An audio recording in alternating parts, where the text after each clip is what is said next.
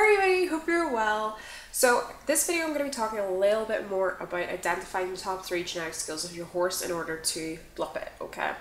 Now, I have mentioned this before when I've done my videos on blupping and bolding, but we're going to do something a little bit different today. So the first thing I want to say is the way I've showed you in the past is to go to your horse and then click on the genetics tab.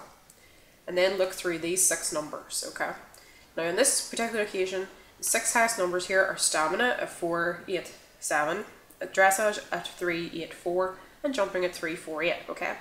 So that would indicate to me that this horse's top three genetic skills are stamina, dressage, and jumping, and therefore gallop, trot, and speed have absolutely no effect on the blup value of this horse, which is this number here, okay?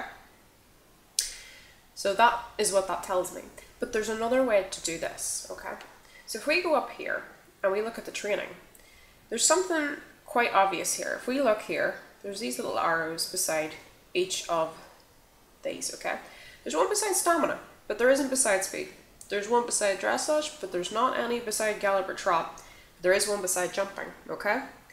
So this is actually pointing out to you in the training which of the top three genetic skills.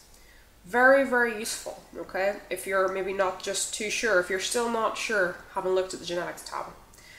Now, the only problem is if I go to rides, which obviously most of you know will be a part of blupping and bolding, it's not giving me any indication there that dressage and jumping, it's, there's no arrows telling me that those are two important ones. And the same is true with mountain as well. There's there's nothing there indicating to me that the that stamina is important. Okay? So it's lacking in the rides. There's no indication there, okay? But it is in the training. It's telling me in the training that those are the ones I want to focus on. I want to focus on stamina, dressage, and jump. Now I'm going to go to a slightly older horse here. Now this horse, okay, one thing you might immediately notice is it only has an arrow beside dressage and jumping, but its stamina is complete. Now this horse, I know, is also highest in stamina, dressage, and jumping. And its three lowest skills are the same as that other horse that I showed you, gallop, trot, and speed. Okay, so those three have absolutely no effect. So what I'm going to show you now is I'm going to train this horse in dressage, okay? And I'm going to show you what happens to that little arrow once this bar is filled. So I'm going to give it some extra feed. I'm going to have to age it once just to bring it on a wee bit. So let's see how much more we need to do. That should do it. Okay, so this horse right now has an arrow beside dressage and jumping. Whenever I click train it. You can see now that this is completed, this training for this one is completed, the arrow is gone, okay? So this is one of the ways that you can kind of help yourself um, if you are maybe not too sure and you're starting off with some horses.